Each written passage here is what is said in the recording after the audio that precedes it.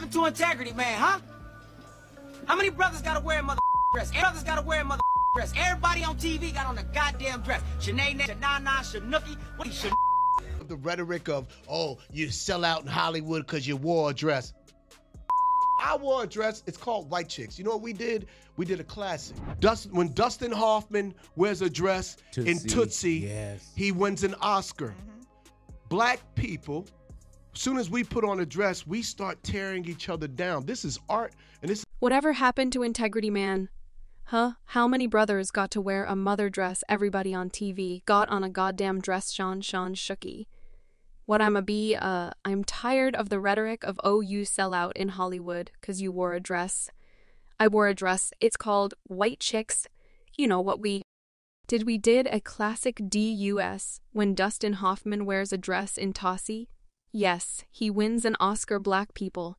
Soon as we put on the dress, we start tearing each other down. This is art, and this is calm, so you know how. Katt Williams never holds back right well. It looks like he's on a roll again, and this time he's got Marlon Wayans in his crosshairs. Yep. Not even the Wayans brothers are safe from Katt's callouts. It's like he's got this radar, and if you say something even slightly off, you're in for it now. What's the deal with Katt and Marlon, you ask? Well, the rumor mill is buzzing with talks that Katt is gearing up for a showdown with Marlon. And what's the supposed reason behind this brewing feud? Katt is accusing Marlon of protecting what he calls predators in the comedy scene. What does Katt mean by predators?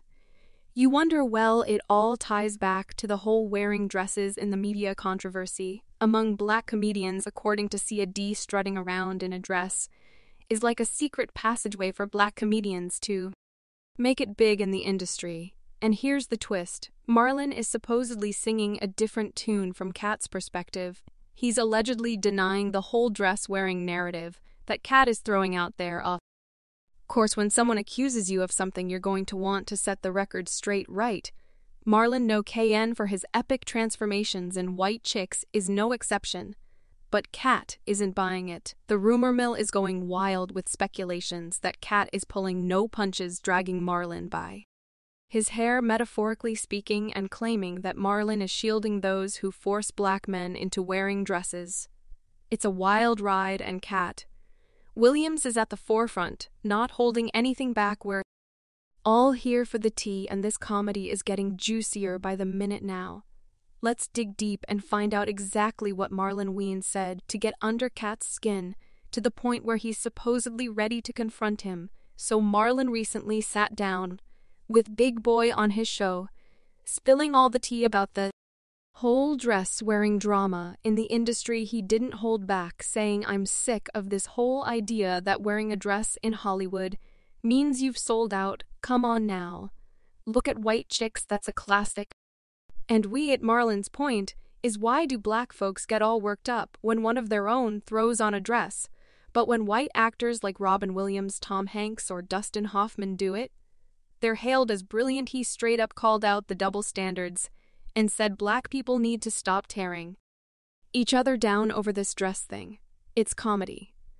It's art when Dustin Hoffman wins an Oscar for rocking a dress. It's genius.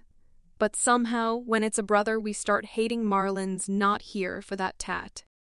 Oxic mindset, he's all about embracing every shade of black humor, celebrating the diversity within the black community Marlon's, throwing shade at the idea that wearing a dress somehow diminishes a black actor's talent.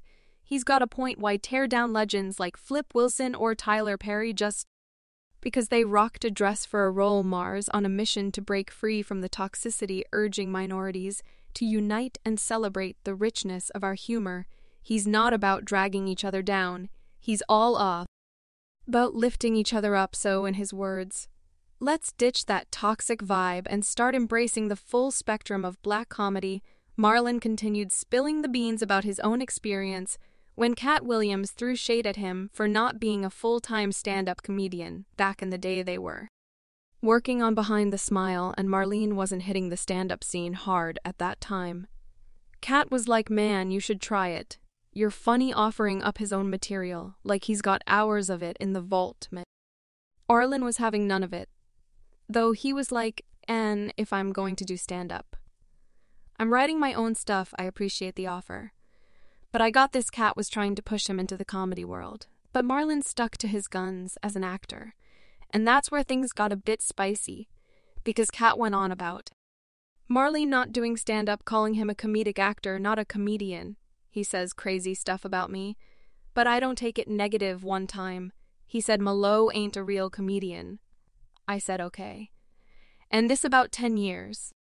S ago, now, here's the kicker Marlon took that as a challenge, not a disc. He embraced it as an opportunity to step up his comedy game instead of getting all defensive. He was like, okay, you're right, got work to do fast forward. And Marlon's been hustling, doing specials, hitting the road basically on the grind to become a legit comedian. He admitted he's way better now than when Katt dropped that comment. But he didn't let it get him down. He flipped it into something POS positive, using it as fuel to become his greatest self in the comedy game. No negativity here. It's all love, Marlon emphasized that his family's all about spreading love in the industry. And they wish everyone nothing but good vibes.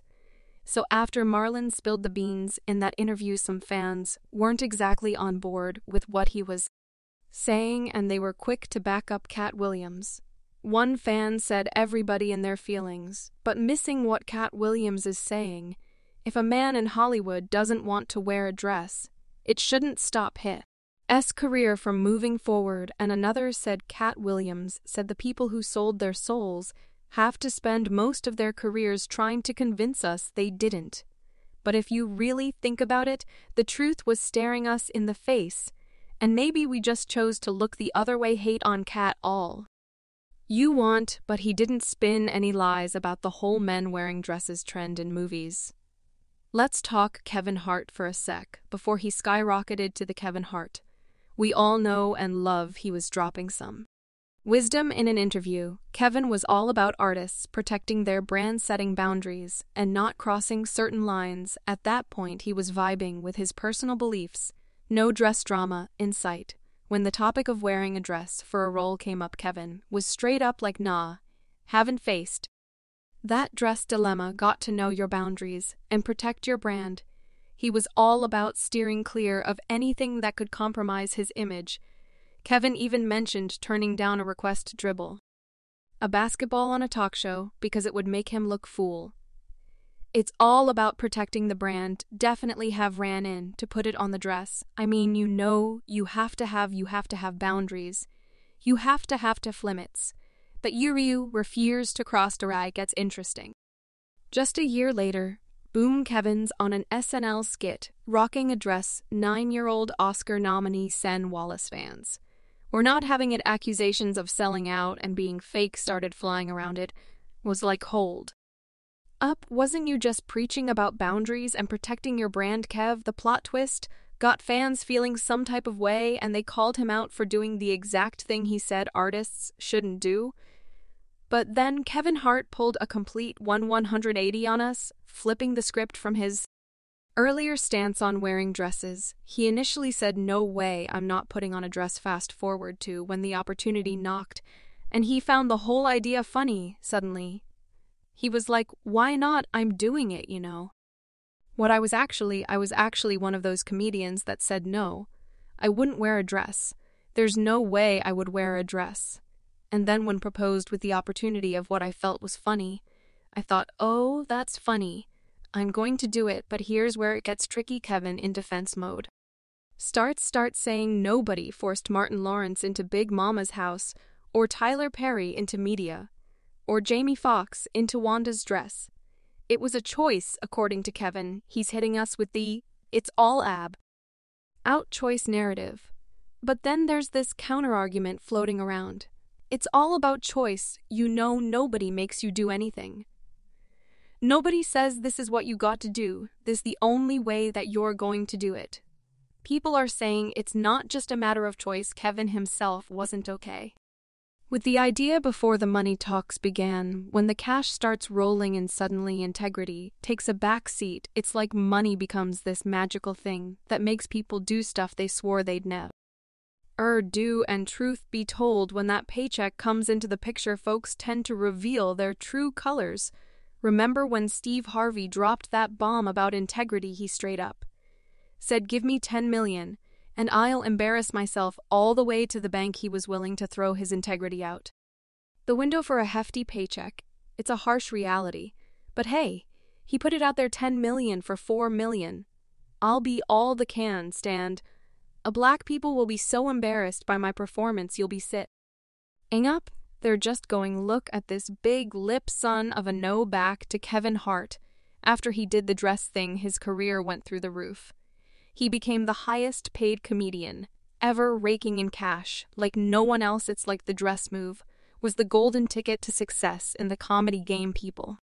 Might argue about the sacrifice of integrity, but at the end of the day, Kevin's laughing all the way to the bank, so some folks used to give Katt Williams a hard time for what he said.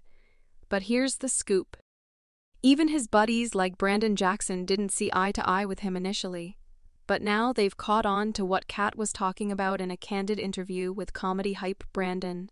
T. Jackson openly shared his regret about wearing a dress alongside Martin Lawrence in Big Mama's house, reflecting. On that time, he admitted everything went wrong when I put on that dress. According to Jackson, the pre Big Mama's era marked a turning point in his career, and while it brought positive aspects like I